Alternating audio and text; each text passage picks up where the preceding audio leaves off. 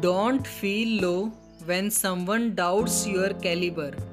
Just be proud of yourself because people always doubt the gold for its purity, not the iron.